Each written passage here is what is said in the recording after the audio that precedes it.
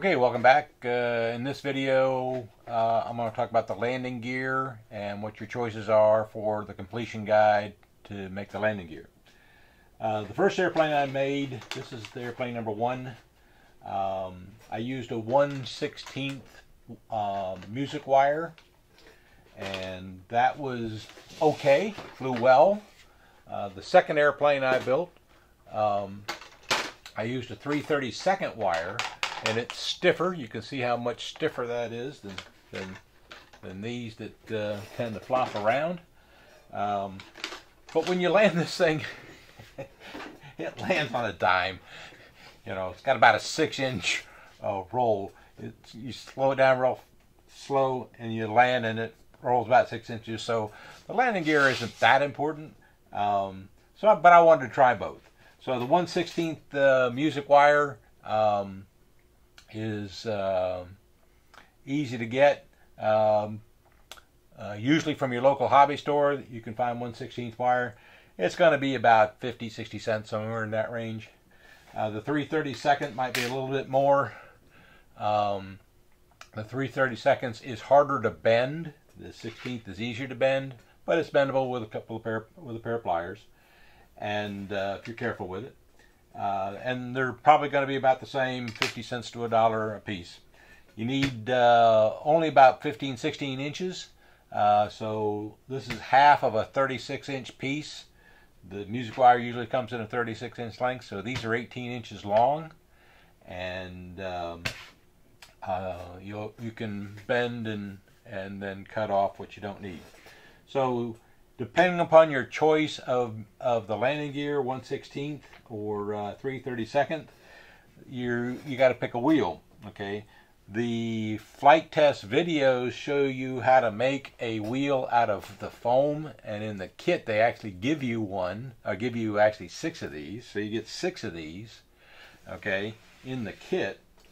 And they also, there's a tip on using a pop rivet. Okay, this is a pop rivet um, that you can see sits uh, into the hole that they made.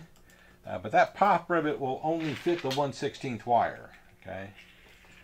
And um, uh, the 332nd wire just won't go through that pop rivet. And you can probably find a bigger pop rivet.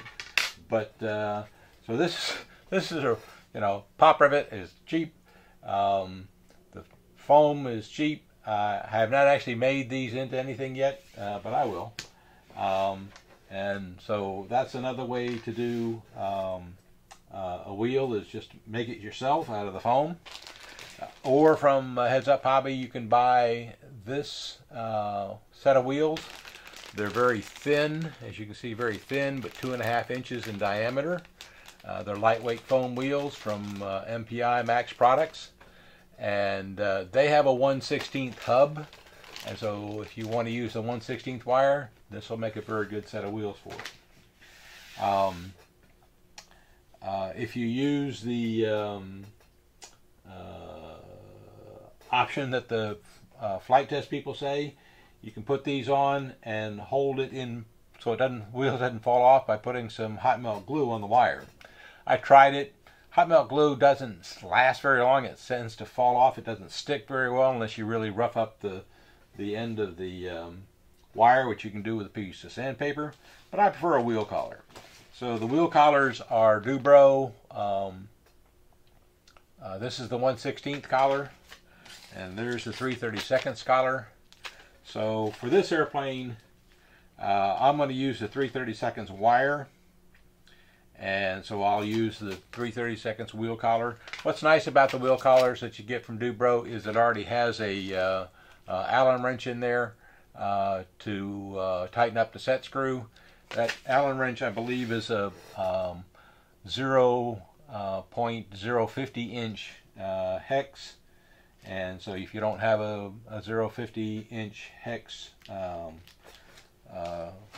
driver then you get one with your wheel collars. Okay, so uh, I'm going to throw into my pack. I, I've already taken two out uh, of a package, and I'm going to use those. I won't be using these wheels. Um, so I'm going to not use those wheels. I'm not going to use that wire. I'm going to use that wheel, that wheel collar, and I'm going to use this set of wheels. Okay, these set of wheels are Dubro. Um, they're two and a half inch um, Dubro wheels. Uh, the wheels are three dollars and fifty cents. Uh, so you can go from three uh, free wheels, uh, basically, to three dollars and fifty cents. The MPI products, uh, I think, were about three dollars as well. The only difference is that the hub in this is 530 seconds instead of 330 seconds, but that's okay. When you put the wheel on, it uh, will spin nicely. If it wobbles a little bit, so what? the wire's going to wobble more than the wheel. Um, uh, there is another wheel that you can get that fits the uh, 330 seconds better.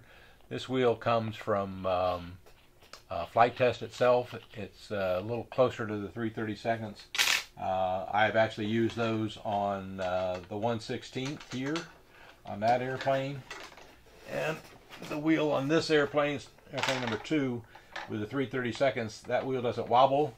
Uh, that bothers you, it's, it shouldn't, because again, a six inch takeoff and a six inch landing uh, roll is uh, not going to bother those wheels. So I'm going to use the new Dubros here. I do have some of these, um, but you can get these at Heads Up Hobby. So if you want to buy everything from one place, you can buy all this from Heads Up Hobby. Um, so that's the wheel collars, wheels, and music wire.